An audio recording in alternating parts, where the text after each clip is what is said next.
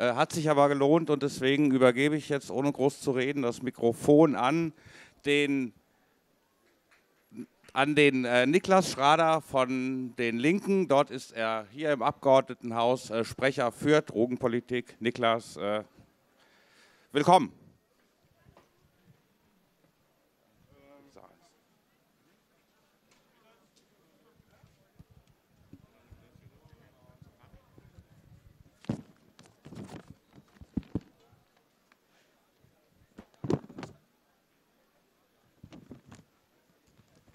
Ja, hallo Leute, schön, dass so viele Leute da sind hier und dass wir trotz dieser Pandemie auf die Straße gehen heute, weil es ist wichtig. Mein Name ist Niklas Schrader, ich bin für die Linke im Abgeordnetenhaus. Ich bin da Mitglied des Innenausschusses und habe da ziemlich viel zu tun mit diesem ganzen äh, Repressionsapparat, mit Polizei und Justiz. Und wenn man sich mal die Zahlen anguckt, dann sieht man, wie viel die sich mit Cannabis eigentlich beschäftigen. In der Kriminalstatistik kann man es ablesen. Ungefähr zwei Drittel der Straftaten nach dem Betäubungsmittelgesetz sind Straftaten mit Cannabis-Bezug. Zwei Drittel. Die arbeiten sich dumm und dusselig an der Kriminalisierung von Cannabiskonsumenten und von Kleindealern. Das muss man sich wirklich mal reinziehen. Und wir sagen, mit diesem Irrsinn muss Schluss sein. Aber wir haben ja auch, wir haben ja jetzt bald eine Bundestagswahl und auch eine Wahl zum Abgeordnetenhaus. Und dass ein Regierungswechsel was bringen kann, das kann man in Berlin sehen. Wir versuchen hier in Berlin eine andere Drogenpolitik zu machen. Wir haben einige Schritte unternommen. Wir wollen zum Beispiel, dass man in Berlin in Apotheken oder in anderen Abgabestellen legal Cannabis erwerben kann. Wir haben dazu ein Modellprojekt entwickelt mit viel Aufwand und das wurde vom Bundesamt für Arzneimittel und Medizinprodukte abgelehnt. Dieses Bundesamt untersteht dem Bundesgesundheitsministerium. Also Herrn Spahn, und da sage ich euch, solche Leute können wir abwählen. Die müssen wir abwählen. Lasst uns die, aus der CD, die CDU aus der Regierung rauswerfen.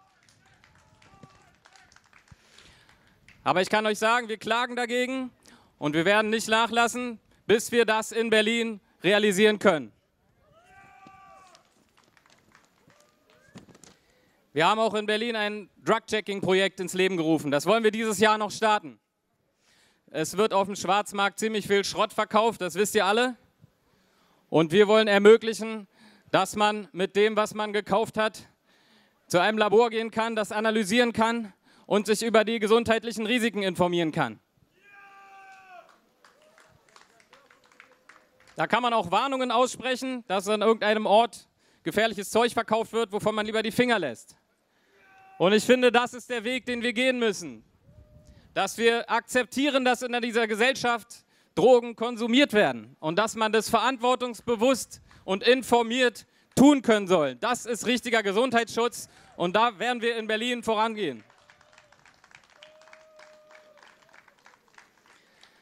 Ja, also wir machen in Berlin, was wir können, aber die wirklichen Spielregeln, die werden natürlich auf Bundesebene entschieden. Und das ist einfach ein Skandal, wie wenig da auf Bundesebene in den letzten Jahren passiert ist. In der ganzen Welt gibt es Bewegung. In den USA reihenweise die Bundesstaaten entkriminalisieren Cannabis. Kanada hat es getan. Sogar in Südamerika, da stellt man diesen sinnlosen Drogenkrieg mittlerweile in Frage und entwickelt andere Modelle.